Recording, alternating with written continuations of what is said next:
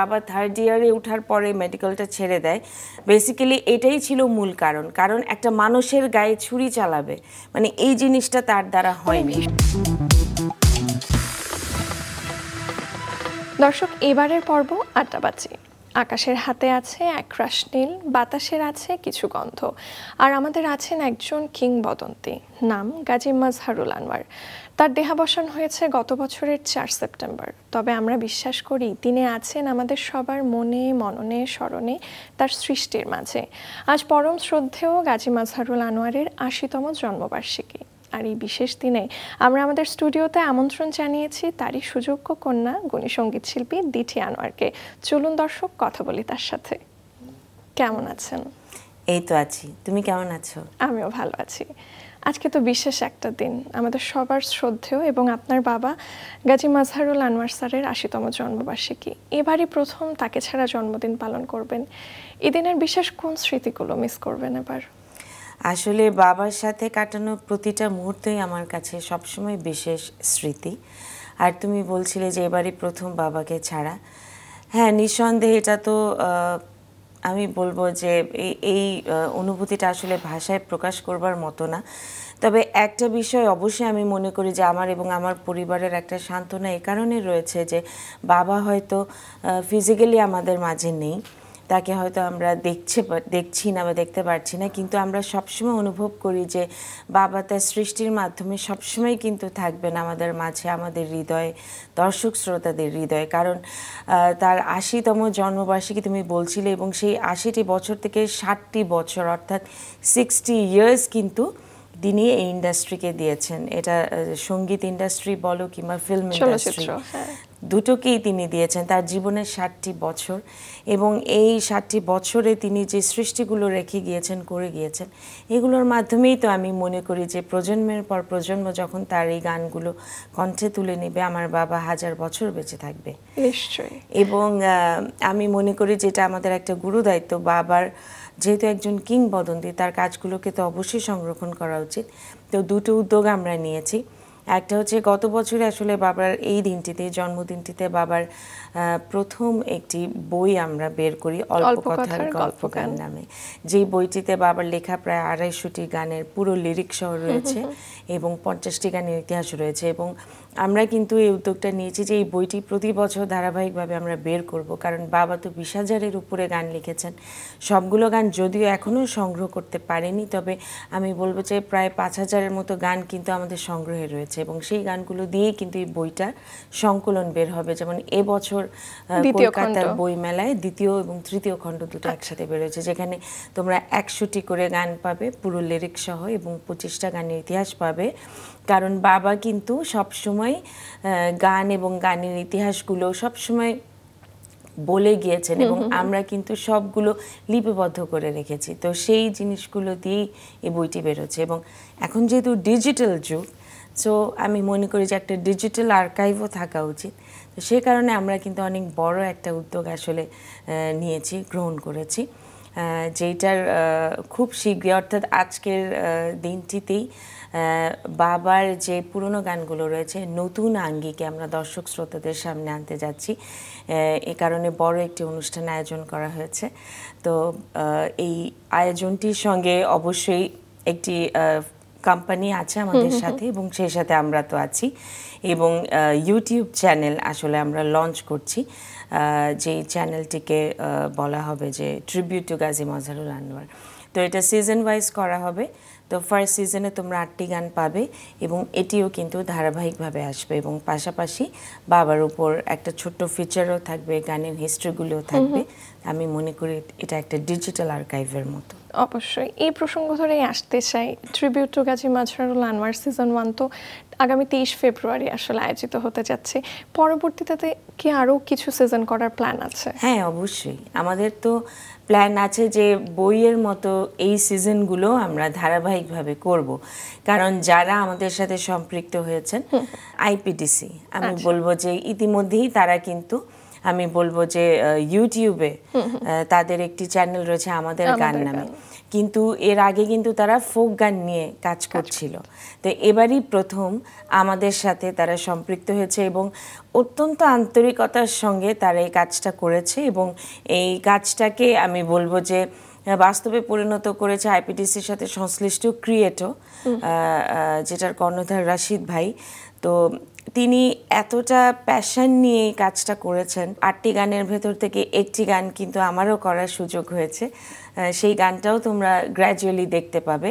তবে প্রথম গান যে গানটি লঞ্চ হবে সেটা তুমি প্রথমেই বাবার গানের যে দুটো লাইন বলছিলে আকাশের হাতে আছে আকাশ নীল যেহেতু এই গানটি বাবার চলচ্চিত্রের প্রথম গান তো এই গানটি দিয়েই আসলে আমাদের লঞ্চিং সেরেমনিটা আমরা করব। বাংলাদেশের এমন কোনো পুরস্কার নেই এমন কোনো সম্মাননা নেই যাতে আসলে গাজী মাজহারুল আনোয়ার স্যার ভূষিত হননি এবং সর্বশেষ এবারের জাতীয় চলচ্চিত্র পুরস্কারেও কিন্তু শ্রেষ্ঠ গীতিকার হিসেবে তার নামটি ঘোষিত হয়েছে। এবার এই পুরস্কারটি আসলে কে গ্রহণ করবেন? পুরস্কার বাবা চলে যাওয়ার পর দুটো পুরস্কার মরণোত্তর আমি গ্রহণ করেছি এবং এই পুরস্কারটিও আমাকেই গ্রহণ করতে হবে। অবশ্যই আমিই গ্রহণ করব। তবে ওই মুহূর্তটার কথা আসলে আমি তোমাকে বলে বোঝাতে পারব না। যখন প্রথম বাবা চলে যাবার পর একটা পুরস্কার আমি বাবার হয়ে গ্রহণ করি আমি আসলে ওই মুহূর্তের কথা তোমাকে ভাষায় প্রকাশ করতে পারব না। কারণ বাবার নামের আগে মরণোত্তর শব্দটাই আমাদের জন্য প্রচণ্ড বেদনাদায়ক কষ্টকর একটা ব্যাপার। এইটা মানে এত তাড়াতাড়ি ফেস করতে হবে এটা আসলে আমরা কখনোই চিন্তাও করিনি। একেবারে চিন্তাও করিনি। কারণ সত্যি কথা বলতে কি বাবা কিন্তু সুস্থ ছিলেন ওরকম অসুস্থ ছিলেন না যে এভাবে তিনি হঠাৎ করে চলে যাবেন এবং আমি তো একটু দেশের বাইরে ছিলাম এবং সেদিন কিন্তু আপনি ফ্লাইটেই সেই দিন আমি বাবাকে তুমি বিশ্বাস করবে না আমি ফ্লাইটে ওঠার আগে আমি বাবার সাথে ফোনে কথা হলো। আমি বাবাকে বললাম যে বাবা আমি তোমার ঢাকা টাইমে এতটার সময় পৌঁছাবো। হ্যাঁ তখন বাবা আমাকে বলল ঠিক আছে মা তুমি কিন্তু পৌঁছে আমাকে হোয়াটসঅ্যাপে ফোন দিবে। কারণ আমি তখন হসপিটালে থাকব। কারণ বাবার কিন্তু এমনি রুটিন চেক আপের জন্য। মানে দুদিন ধরে বলছিল শরীর খারাপ বাট খুব একটা যে খারাপ ছিল ওরকম না। বাবার মাঝে মাঝে একটা গ্যাসের প্রবলেম হতো সেটাই হচ্ছিল। আর একটু ব্রিদিং প্রবলেমের কমপ্লেন করছিল। তো বাবা বলছিল যে আমি ডক্টর দেখাবো। তো আমি ফ্লাইটে থাকা অবস্থায় আসলে বাবা চলে যায় এবং ওই সময় কেউ আমাকে ফোনে কানেক্ট করতে পারেনি। কারণ ফ্লাইটে তো আমার ফোন অফ ছিল। আমি ওয়াইফাইও নিইনি। এবং তুমি কল্পনা করতে পারো যে আমার জন্য কতটা বেদনাদায়ক ছিল যখন দেশের দুবাই এয়ারপোর্টে নেমে আমি ফেসবুকটা যখন অন করলাম ওয়াইফাইটা অন করলাম তখন আমি জানতে পারি আমার বাবা নেই। কারণ এর আগে তো কেউ আমাকে কানেক্টই করতে পারেনি। কিন্তু আসলে যার যায় সে বুঝে। সে বোঝে। তো- স্যার সব সময় বলতেন যে আমার জীবনের শেষ মুহূর্ত পর্যন্ত যেন আমার হাতে কলম থাকে। বাবার এই স্বপ্নটা যেন সত্যি হয়েছিল। বাবা কিন্তু বাবা তো চার থেকে চার তারিখে চলে যান। বাবা কিন্তু আহ, তিন তারিখেও গান লিখেছেন। এবং আমি বলব যে তরুণ প্রজন্মের একজন সংগীত শিল্পী অপু আমান ওর খুব সৌভাগ্য। বাবার শেষ কাজগুলো ও করতে পেরেছে। বাবা একটা প্রজেক্ট হাতে নিয়েছিলেন পাঁচটি গানে যে পাঁচটি গান বাবার লেখা এবং পাঁচটি গানই অপু সুর করবে এবং সেই কাজের জন্য অপু কিন্তু আগের দিনও বাবার বাসায় যায় এবং বাবা তখনও তাকে তার জীবনের শেষ গানটি লেখেন। তো সেই গানটা অপুর করার সুযোগ হয়েছে। আর এটা বাবার একেবারে এই স্বপ্নটা ছিল। জীবনের শেষ মুহূর্ত পর্যন্ত কলমটা যেন হাতে থাকে। কারণ আমি ওই যে তোমাকে বলছিলাম যে বাবা সুস্থই ছিলেন। খুব একটা অসুস্থ তো তিনি ছিলেন না। যে কারণে গান লেখারও পর্যন্ত তিনি গানটা লিখতে পেরেছেন। এবং তিনি পরের দিনই এই অবস্থা। এই অবস্থা। তিনি যে শুধুমাত্র একজন গীতিকার ছিলেন তার না তিনি একজন সফল চলচ্চিত্র পরিচালক এবং প্রযোজকও ছিলেন। একচল্লিশটি চলচ্চিত্র তিনি পরিচালনা করেছেন। কখনো এমন হয়নি যে উনি আপনাকে নিয়ে সিনেমা বানাতে চেয়েছেন আপনাকে নায়িকা করে। আমি যখন জন্ম নিই তখন একটা শিশু যখন প্রথম কান্না করে বাবা আমাকে বলেছিল যে তখন মা তোমার বাবা তো আমাকে দিঠি বলে ডাকতেন না মা বলেই ডাকতেন। তো বলতেন যে মা তুমি যখন জন্মাবার পর কান্না করলে তোমার কান্নার ভেতর না একটা সুর ছিল এবং তখনই আমার মনে হয়েছে আমার মা বোধ হয় সংগীত শিল্পী হবে। তো সেই কারণে না দেখা যেত কি আমার না গানের প্রতি ঝোঁকটা বেশি ছিল। ছোটবেলা থেকে আচ্ছা। আট বছর বয়স থেকে সারগাম শেখা শুরু করে ক্লাসিক্যাল শিখে এবং আট বছর বয়সে বাবা আমার যে জন্মদিনটা ছিল প্রথম আমাকে হারমোনিয়াম কিনে দেয়। হ্যাঁ এবং সেই হারমোনিয়ামের সাথে বাবা আমাকে একটি গানও লিখে দেয়। এবং বাবা কিন্তু যখনই গান লিখতেন সাথে সাথে একটা সুরও তিনি চিন্তা করতেন। তা আমাকে বলতেন যে সুরগুলো তুলে রাখো। কাকুরা যখন আসবে মানে শ্রদ্ধেয় সত্য শাহ আলাউদ্দিন আলী চাচা আলম খান চাচা ওনারা যখন আসবে পারভেজ চাচা তুমি সুরটা গেয়ে শোনাবে এরকম হতো। তো ঠিক তেমনি সেই গানটাও বাবা লেখেন আমার জন্য এবং সাথে সাথে সুরও করেন। তো আপনার কখনো ইচ্ছে করেনি সিনেমাতে অভিনয় করতে? সেটা হোক যেটা আমি হ্যাঁ বলছিলাম না আমার ওভাবে ইচ্ছা হয়নি কারণ অভিনয় জিনিসটা আমার কাছে খুব কঠিন মনে হতো। আমার মনে হতো এই কাজটা আমাকে দিয়ে হবে না। তবে বাবার একটা ছবিতে আমার অভিনয় করার সুযোগ হয়েছিল শাস্তি ছায়াছবিতে। আমি একটা শিশু শিল্পীর ভূমিকা অভিনয় আচ্ছা। করেছিলাম একটা ছেলের ভূমিকায় কারণ তখন আমার বয়কার চুল ছিল। আচ্ছা। তো যাই হোক সেই ছবি আমার ফার্স্ট এবং লাস্ট মুভি এরপরে আমি আসলে অভিনয়ের কথা বাবাকে ওভাবে বলা হয়নি। আর বাবাও হয়তো ধরেই নিয়েছেন যে না আমার বোধহয় অভিনয়ের প্রতি ঝোঁকটা কম গানের প্রতি বেশি। সে কারণে বাবা আমাকে চলচ্চিত্রে প্লেব্যাকে প্রথম সুযোগ দেয়। যেটা উল্কা ছায়াছবিতে আমি করি। তবে আমি বাবাকে বলেছিলাম বাবা তুমি আমাকে অভিনয় নাওনি কেন? নিশ্চয়ই আমি খুব বাজে অভিনয় করেছি এই জন্য বোধহয় আর চান্স দাওনি। তবে হ্যাঁ পরবর্তীতে কিন্তু কিছু বেশ কিছু ছবির অফারও আমার কাছে এসছে কিন্তু আসলে ওভাবে করে হয়ে ওঠেনি তবে বাবার মতো কখনো পরিচালনা বা প্রযোজনায় আসার ইচ্ছা আছে কি? ওই কাজটা আমার কাছে খুব কঠিন লাগে। যেমন বাবা যেমন গান লেখেন আমি কিন্তু আজ পর্যন্ত আমি দুটো লাইন লেখার সাহস আমি করিনি। এবং ঠিক তেমনি বাবা যেমন চলচ্চিত্র নির্মাণ করেছেন মানে আমার কখনো মনে হয় না যে ওই কাজটা আমাকে দ্বারা হবে। স্যার তো অনেক অল্প বয়সে মানে একুশ বছর বয়স থেকে আসলে গীতিকার হিসেবে আত্মপ্রকাশ করেন এত অল্প বয়সে আসলে এই যে গান লেখার গ্রামার শব্দচয়ন এই সবগুলো আসলে উনি আত্মস্থ করেছেন কি করে? কখনো শেয়ার করেছেন কি আপনার সাথে?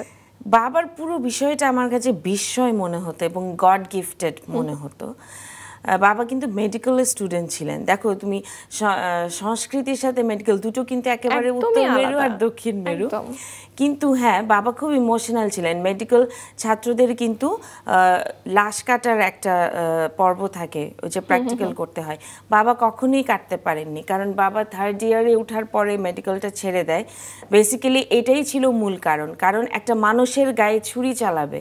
মানে এই জিনিসটা তার দ্বারা হয়নি। ভীষণ সেন্সিটিভ ছিলেন সেন্সিটিভ ছিলেন। শুনেছি। এবং এ কারণে তার কলিগসরা বলো বা তার ব্যাচমেটরা তাকে বলতো তুমি কখনো ভালো ডাক্তার হতে পারবে না কারণ তুমি তো প্র্যাকটিক্যাল কিছু করছ না আর আসলে তো বাবার ঝোঁকটা ওদিকেই ছিল ছিল। বাবার জীবনের প্রথম গান ছিল বুঝেছি মনের মনে রং লেগেছে বাবার তখন বিশ একুশ বছর বয়স তখন এই গানটা লিখেছে এবং কিন্তু তার মূল উদ্দেশ্য ছিল যে চলচ্চিত্রে কাজ করবে। তো সেই কারণে শ্রদ্ধেয় সত্য সাহের পেছনে ধর্ণা দিচ্ছে। তখন যারা কম্পোজার ছিলেন তাদের পেছনে এবং উনিশশো আটষট্টি সালে বাবার কাছে সেই সুযোগটা চলেও আসে আয়না অবশিষ্ট ছায়াছবির মাধ্যমে সুভাষ দত্ত পরিচালিত এবং ওই যে আকাশের হাতে আছে আকাশ নীল তারপর থেকে আর কখনই তাকে পিছিয়ে ফিরে তাকাতে হয়নি এবং তুমি বলছিলে যে সফলতার কথা।